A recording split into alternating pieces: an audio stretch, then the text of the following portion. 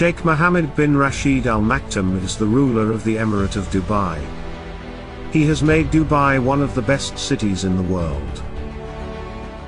What are you trying to do here? What do you want this place to be? I want it to be number one. Not in the region, but in the world. What do you mean number one in the world? In everything. High education, health, uh, housing. Just making my people the highest way of living. Dubai has become so famous that most people around the world think of it as a country. But it is not a state, it's just a city in the United Arab Emirates. A city that was a desert a few years ago. Everyone has heard about the Burj Khalifa. But the ruler of Dubai is bored with it now.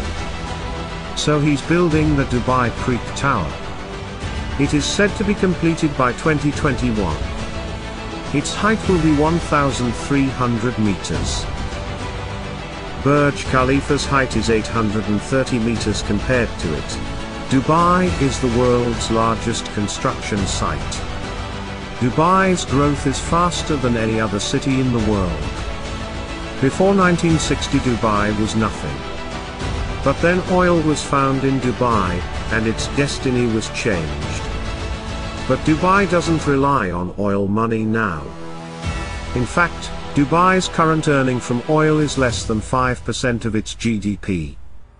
Dubai has become the trading hub for the world. Only 15% of Dubai's population are Arabs. The 85% population of Dubai are foreigners working in the country.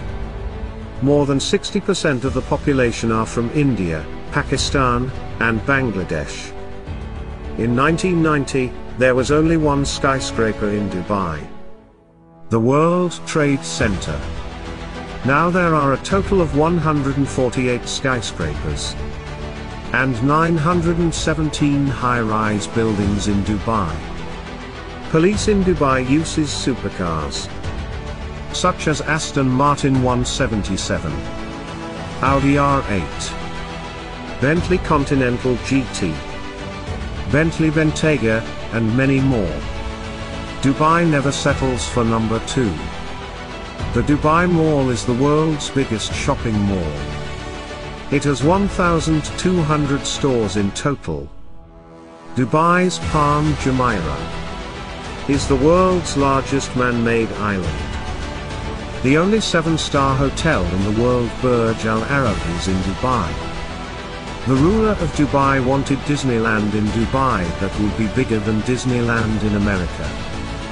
But Disneyland rejected the proposal. So he built Dubailand. It is 2.5 times bigger than Disneyland. More than 200,000 visitors are seen here. The ruler of Dubai's vision has made Dubai what it is today. Where there were only deserts a few years ago. There are only skyscrapers now.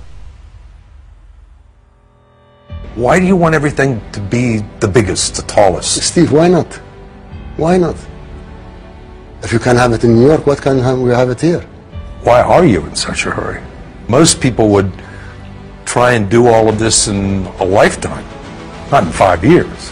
I want, I want my people to live better life now, to go to the high school now, to go to the good uh, health care now, not after 20 years.